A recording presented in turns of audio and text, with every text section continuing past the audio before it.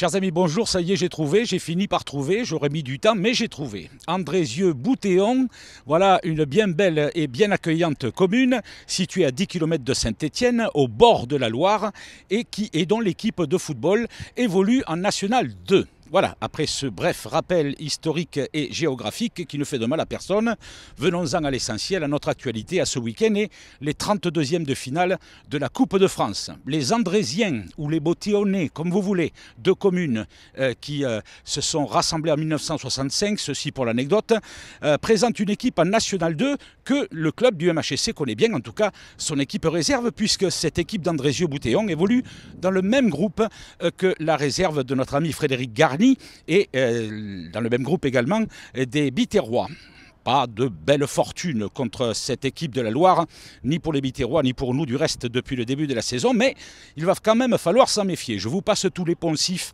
inhérents et toujours collés à cette magnifique compétition qui est la Coupe de France. Il n'y a pas de petites équipes, attention aux petits poussés, attention aux matchs pièges, laissons ça aux observateurs de tout poil.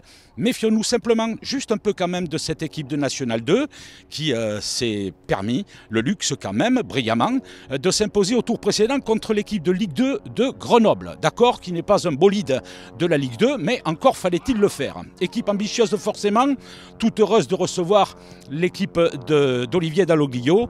Ce sera donc euh, ce dimanche à 16h et nous verrons bien si euh, nous pouvons éviter ce piège-là et rester sur cette dynamique des bons résultats. Parce qu'au stade où nous en sommes, comme ça se passe actuellement en Ligue 1, ma foi, la Coupe de France ne sera pas de trop.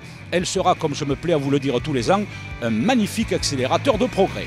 Voilà ce match Andrézieux-Boutéon-Montpellier pour les 32e de finale de la Coupe de France.